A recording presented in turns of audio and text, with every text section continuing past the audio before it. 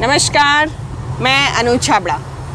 आज हम सीखने वाले हैं कि लोटस को, कमल को बीजों से किस तरह उगाया जा सकता है।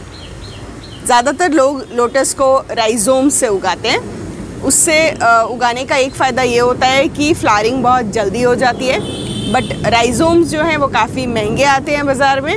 तो अगर आपको पहली बार सीखना है या कोशिश करना चाहते हैं कि किस तरह लोटस उगाया जा सकता है तो इसके बीज काफ़ी आसानी से मिल जाते हैं। स्पेशली आप अगर बात करें तो पूजा की सामग्री की जो दुकानें होती हैं, जहाँ पे हम पूजा की सारी चीज़ें लेते हैं, उन दुकानों में ये मिल जाता है। इसकी अगर वैरायटी की बात करें तो बहुत सारी वैरायटी कमल के फूलों की अवेलेबल है मार्केट में। जितने सुंदर फूल, उतने महँगे उनकी बीजों के दाम। तो कोशिश करें सबसे पहले सस्ते और इजीली आपको जो भी मिल जाए उससे एक बार पूरा प्रोसेस आप समझ लें। उगाने की कोशिश करें। जब आपको कॉन्फिडेंस आ जाए तो आप किसी भी तरह का बीज ऑनलाइन भी ख़रीद सकते हैं या किसी आपके फ्रेंड्स अगर कोई उगा रहे हैं तो उनसे राइजोम्स या सीड्स लेके आप एक बेहतर किस्म की जो लोटस कहते हैं, उसकी भी कोशिश कर सकते हैं उगाने की। तो अब शुरू करते हैं बीजों से। तो लोटस के जो बीज हैं, कमल के बीज, वो इस तरह के बाज़ार में मिलते हैं। ठीक है? तो इसको अगर आप ध्यान से देखें तो एक तरफ़ ये नुकीला भाग होता है और एक तरफ़ गोलाकार भाग होता है। लोटस की जो सीड्स हैं, इनकी जो आउटर कवरिंग होती है, ये बहुत ज़्यादा हार्ड होती है। तो जब हम इन्हें पानी में भिगोते हैं तो ये कम से कम आप कह सकते हैं पंद्रह बीस दिन, कई बार एक महीना भी लगा देते हैं इनमें से स्प्राउटिंग होने के लिए। तो अगर हम चाहते हैं कि इनसे थोड़ी जल्दी स्प्राउटिंग हो जाए तो सबसे ईजी तरीका है कि आप इन बीजों को लें और हल्का सा, जैसे मैंने एक को किया हुआ है, किसी भी ज़मीन पे या दीवार पे हल्के से घस लें तो उससे क्या होगा, इसकी ऊपरी जो कोटिंग है, वो थोड़ी हट जाएगी। देखिए मैंने इसमें भी है और अंदर से ये सफ़ेद सफ़ेद दिखना शुरू हो जाएगा। इस कंडीशन में हम इसे पानी में भिगो देंगे। पानी में भिगोते वक्त इस चीज़ का ध्यान रखना है कि इस पानी को हमें रोज़ या कम से कम हफ़्ते में दो या तीन बार बदलना है और इसे ऐसी जगह पे रखना है जहाँ सूरज की रोशनी अच्छी से इसके ऊपर पड़ती हो, तभी स्प्राउटिंग जल्दी होगी। अगर आपने इसको रगड़ दिया है और पानी लगातार दो या तीन दिन में बदल रहे हैं तो स्प्राउटिंग जल्दी होगी। और जब स्प्राउटिंग होने लग जाए तो आप देखेंगे कि ये कुछ इस तरह का दिखना शुरू हो जाएगा। इसमें से ये तना और पत्ते निकलने शुरू हो गए हैं। फ़िलहाल अभी जड़ें निकलनी शुरू नहीं हुई हैं। तो अभी भी हम इसे बड़े टब में नहीं लगा सकते जब तक इसकी जड़ें ना निकलें। कुछ दिनों बाद आप देखेंगे इस इस कंडीशन में भी हमें उसे कटोरी में रखना है या किसी भी बर्तन में जिसमें आप रख रहे हैं, पानी बदलते रहेंगे। इसे तब तक वहाँ रखना है जब तक कि उसमें इस तरह की थोड़ी थोड़ी जड़ें ना बनने लग जाएँ ठीक है? जब जड़ें बनने लग गई अब इस आ, स्टेज में हम इसे किसी छोटे से आप प्लास्टिक का ग्लास कह सकते हैं कि प्लास्टिक का ग्लास ले लीजिए जिसके नीचे छेद ना हो। उसमें मिट्टी अब मिट्टी किस तरह की लेंगे? इसमें हमने गार्डन सॉइल ली है रेड सॉइल कॉम्पोस्ट है या आप गोबर की खाद भी ले सकते हैं। सबसे ज़रूरी चीज़ है क्ले, जो कि कुम्हार अपने घड़े वगैरह बनाने के लिए यूज़ करते हैं, या गणेश, या गणपति बनाने के लिए हम जो क्ले यूज़ करते हैं। अगर आपको ना मिले तो आप किसी क्राफ्ट शॉप से भी ले सकते हैं, लेकिन सिंथेटिक क्ले नहीं लेंगे आप। नॉर्मल जो नदी के किनारे की मिट्टी होती है क्लेई सॉइल, आप वो लेंगे। अब इन तीनों को मिक्स करके मैंने इस ग्लास में डाल दिया है, और हमारी जो स्प्राउटिंग हुई हुई है, उसे हम इसे अच्छी तरह दबा देंगे। इसके अंदर, ठीक है? अब इसमें ऐसे दबा के रख देंगे। अब ये जो स्टेज है, इसे हम इसे किसी भी इस तरह के टब में, जिसकी गहराई कम से कम 15 से 20 इंच 20 इंच की डेप्थ होनी चाहिए, सिर्फ़ पानी भरें और इन ग्लासेस को उसके अंदर इस तरह डुबा के रख दें। कुछ दिनों बाद आप देखेंगे कि जब हम इन ग्लासेस को निकालेंगे तो आप देखेंगे कि इनमें रूट्स के साथ साथ राइजोम्स की फॉर्मेशन भी बननी शुरू हो गई है। मतलब ये जो स्टेज है, इसमें अब हम इन्हें और ज़्यादा इस छोटे ग्लास के अंदर नहीं रख सकते, क्योंकि ये जो राइजोम्स हैं, ये हॉरिजॉन्टली बढ़ते हैं और इन्हें काफ़ी जगह चाहिए होती है। इतने बड़े टब में करीब 20 इंच की गहराई वाला जो टब है उसमें ज़्यादा से ज़्यादा आप एक या दो लोटस ही लगा सकते हैं। इससे ज़्यादा लोटस अगर आप लगाएँगे तो उनमें फ्लारिंग नहीं होगी क्योंकि उनकी न्यूट्रिशन अब्जॉर्ब करने की कैपेसिटी जो है वो इतनी ज़्यादा है कि वो एक दूसरे से न्यूट्रिशन के लिए उनका आप कह सकते हैं लड़ाई होती रहेगी और पौधा अपना आ, पूरी तरह से न्यूट्रिशन अब्जॉर्ब नहीं कर पाएगा। तो जब इस स्टेज में ये पहुँच गया है तो हर टब में एक या दो ही रखें। अब हमें टब के में मिट्टी कैसे तैयार करनी है? हमने करीब 20 इंच का टब ले लिया है। इसमें करीब तीन से चार इंच आप कह सकते हैं इतना। तीन से चार इंच या आ, अगर आपका इस इससे छोटे टब में अगर आप करेंगे तो लोटस अच्छा नहीं उगेगा। इससे बड़ा भी अगर होगा तो बहुत अच्छी बात है। इसमें फिर से मिट्टी हमें ऐसी ही तैयार करनी है जिसमें हमें इक्वल मात्रा में गार्डन सॉइल कंपोस्ट या गोबर की खाद और क्ले इक्वल मात्रा में तीनों को मिक्स कर लेना है। और हमारा जो टब है, उसे कम से कम तीन चार इंच तक उस मिट्टी में भर लेना है।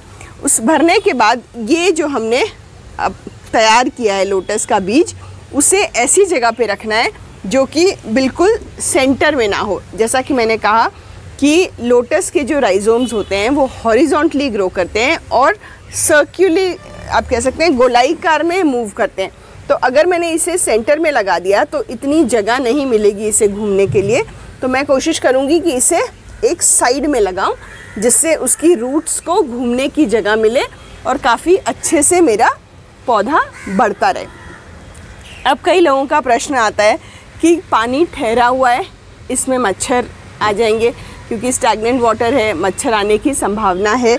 तो इसके दो तरीके हो सकते हैं। एक तरीका ये है कि हर 10-15 दिन में आप इसके पानी को ओवरफ्लो करें कि और पाइप से या कोई चीज़ से इसमें पानी लगा दें। जो पुराना पानी है, वो बेहतर है और नया पानी उसमें इकट्ठा हो जाए। क्योंकि जो भी मच्छर होते हैं, उनके जो लार्वा होते हैं, वो मेच्योरिटी तक पहुँचने के पूरे साइकिल को उन्हें कम से कम पंद्रह दिन लग जाते हैं। तो पंद्रह दिन में अगर आपने एक बार वाटर चेंज कर लिया तो मच्छरों की समस्या नहीं आएगी। लेकिन अगर ये आपके लिए पॉसिबल नहीं है, हर हर पंद्रह दिन में आप नहीं पानी चेंज कर सकते तो इसमें छोटी छोटी मछलियाँ गपीज़ या मॉलीज़ मैं उसकी फ़ोटो भी डाल दूँगी, आप देख लीजिएगा। गपीज़ या मॉलीज़ होती हैं वो छोटी छोटी मछलियाँ होती हैं उन्हें आप इन्हें इसमें डाल दीजिए। इतने बड़े टब में कम से कम तीन या चार जोड़ी मछलियों की डाल सकते हैं। जोड़ी का मतलब है एक मेल एक फीमेल। तो अगर चार आ, सेट्स आपने डाल दिए तो वो धीरे धीरे महीने दो महीने में वो भी मल्टीप्लाई होती रहेंगी और आपके इसमें जो भी मच्छरों ने लार्वे दिए हैं या जो भी एल्गे फॉर्मेशन होती है क्योंकि पत्तों के नीचे थोड़ी काई सी जमती रहती है तो मछलियाँ जो हैं वो उसे खा लेती हैं और मछलियों की जो पूप होती है, उसमें इतना ज़्यादा नाइट्रोजन होता है, जो कि हमारे पौधे के लिए, लोटस के लिए बहुत फ़ायदेमंद है। तो ये एक बहुत अच्छा इकोसिस्टम तैयार हो जाता है और कोशिश करें कि आप जब भी अपने इस पॉट को सेट कर लें, इसे ऐसी जगह पे रखें जहाँ कम से कम पाँच से छः घंटे की धूप आती हो। ठीक है? तो धीरे धीरे जब आप देख, इसमें अभी आप देखेंगे कि इतने सारे लोटस के पत्ते आपको दिख रहे हैं, पर इसमें अभी सारे के सारे छोटे स्टेज में हैं। मैंने बहुत सारे ग्लासेस इसके अंदर डाले हैं। जब ये थोड़े और बड़े हो जाएँगे तो मैं इन्हें एक एक टब में एक एक ही लगा दूँगी। और इनकी फ्लारिंग कैसी होगी, मैं उसकी भी वीडियो जल्दी ही आपके साथ शेयर करूँगी। कई लोगों का प्रश्न आते रहते हैं कि इसे कितना समय लग जाएगा फ्लारिंग होने में। तो डिपेंड करता है आपने किस तरह के बीज यूज़ किए हैं। छः महीने से लेके करीबन एक साल तक लग जाता है लोटस को फ्लारिंग करने के लिए। सबसे ज़्यादा डिफ़िकल्ट स्टेज जो है, बीज से लेके राइजोम बनने तक की स्टेज है। करीबन आप कह सकते हैं, इस स्टेज से ये राइजोम बनने तक की स्टेज को ढाई से तीन महीने लग गए इसके बाद का प्रोसेस थोड़ा जल्दी हो जाता है। अब हम बात करते हैं कि न्यूट्रिशन की। हमारा पौधा बढ़ रहा है मछलियाँ हमने डाली हुई हैं मछलियों की वजह से उन्हें नाइट्रोजन मिल रहा है। इसके अलावा हमें और क्या देने की ज़रूरत है? तो जैसे जैसे पौधा बढ़ेगा उसकी रिक्वायरमेंट भी बढ़ेगी तो हम क्या कर सकते हैं? सूखी गाय की गोबर के इस तरह के उपले मिलते हैं। आप इत, इतना एक बड़े उपले का आप कह सकते हैं कि एक चौथाई भाग। इसे आप पंद्रह आपके पंद्रह से बीस दिन या महीने में एक बार। इस तरह इसमें डाल दीजिए धीरे धीरे ये घुलने लग जाएगा। और इसमें इतने सारे न्यूट्रिशन होते हैं जो कि आपके पौधे के लिए सफिशेंट है। तो अब एक एक चीज़ और कईयों को परेशान करती है कि क्या हमें इसका पानी बदलने की ज़रूरत है या कितने दिनों में बदलने की ज़रूरत है या ना बदलें तो चलेगा। जैसे जैसे आपका पौधा बड़ा होगा, उसके राइजोम्स और ज़्यादा बड़े होंगे और उन्हीं राइजोम से नए पौधे भी निकलने शुरू हो जाते हैं। तो अगर आपने अपने पौधों की, जब एक बार फ्लायरिंग हो जाती है तो ये धीरे धीरे डोमेंसी में चले जाते हैं। डोमेंसी एक ऐसी अवस्था है प्लांट्स की, जिसमें वो, आप कह सकते हैं कि उन, वो सोने चले जाते हैं। एक स्लीपिंग टाइम जोन है उनका। तो उस समय अगर हम इनके राइजोम्स निकाल के उन्हें सेपरेट करके उनसे और प्लांट्स उगाना चाहें तो हम कर सकते हैं। और कई बार हम अगर जो इनका डोमेंसी पीरियड है, उसमें इनकी फ्लारिंग नहीं होती है। तो इनके पत्ते जो होते हैं, अगर बहुत ज़्यादा आपको दिख रहे हैं डोमेंसी में तो उस समय इनके पत्ते आप थोड़े हटा सकते हैं। कई बार वो पत्ते अपने आप ही सूख जाते हैं। तो जब वो पत्ते सूख गए उन्हें ज़्यादा न्यूट्रिशन उस में देने की ज़रूरत नहीं है। डोमेंसी के बाद इसमें आप देखेंगे कि काफ़ी सारे राइजोम्स मल्टीप्लाई हो गए। तो उन राइजोम्स को सेपरेट करके एक एक टब में हम लगा सकते हैं या अपने फ्रेंड्स के साथ शेयर कर सकते हैं। तो लोटस उगाना कोई बहुत रॉकेट साइंस नहीं है। बहुत इजी प्रोसेस है। खाली थोड़े सब्र की ज़रूरत है पेशेंस की ज़रूरत है। आ, सही सोर्स से सीड्स खरीदें। कोशिश करें कि आप उन्हें रेगुलर मॉनिटर करते रहें। कि आपके राइजोम्स या आपके पत्ते सड़ तो नहीं रहे हैं और अगर पत्ते बहुत ज़्यादा हो रहे हैं तो उन्हें समय समय पे थिनिंग करें। नहीं तो सूरज की रोशनी पूरी आपके लोटस के राइजोम्स और सीड्स तक नहीं पहुंचेगी रूट्स तक तो फ्लारिंग अच्छी नहीं होगी। तो आशा करती हूँ कि लोटस से रिलेटेड आपके सारे डाउट्स क्लियर हो गए होंगे। इसके अलावा वाटर प्लांट्स पे मैंने और भी दो वीडियो बनाई हैं, उनके लिंक भी डाल दूँगी। कई बार लोगों को कंफ्यूजन होता है लिलीज़ और लोटस के बीच में। तो लिलीज़ में हमेशा इस तरह का कट रहता है। लिली का पत्ता कभी भी पूरा गोल नहीं होता है सर्कुलर नहीं होता है, उसमें एक कट होता है। जबकि अगर आप लोटस का देखें तो इसमें प्रॉपर सर्कल होता है और लोटस के लीव काफ़ी वैक्सी कोटेड होते हैं। तो जब भी हम उसमें पानी डालते हैं तो वो टिकता नहीं है। जबकि लिली के ऊपर पानी टिक जाता है। तो ये बेसिक डिफरेंस है इनका, और उगाना काफ़ी आसान है। एक चीज़ और कई बार लोग पूछते हैं कि लिलीज़ जब हम उगाते हैं तो हम उसे टब्स के अंदर एक छोटा कंटेनर में लिलीज़ को उगाया हुआ है तो डबल टब मेथड में लिलीज़ उग जाते हैं। पर इस मेथड को लोटस के लिए अप्लाई ना करें।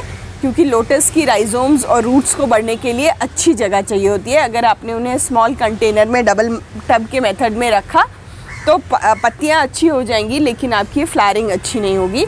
तो इसके अलावा और कुछ ख़ास ज़रूरत नहीं है। कई लोग डीएपी का भी इस्तेमाल करते हैं। तो वो महीने, दो महीने में एक छोटी सी पोटली में डीएपी के कुछ दाने डाल के इसमें मिट्टी में दबा देते हैं। तो अगर आप चाहें तो वैसा भी कर सकते हैं। मैं हर चीज़ ऑर्गेनिकली यूज़ करती हूँ। तो मैंने आज तक कभी उसे इस्तेमाल नहीं किया है। सुना है, पढ़ा है कि लोग डी का इस्तेमाल करते हैं। तो अगर आप चाहें कि ज़्यादा फ्लारिंग चाहिए या आपको ये गाय के उपले उपलब्ध नहीं हो पा रहे तो आप डी भी इस्तेमाल कर सकते हैं। आशा करती हूँ कि आपको वीडियो पसंद आई होगी। धन्यवाद।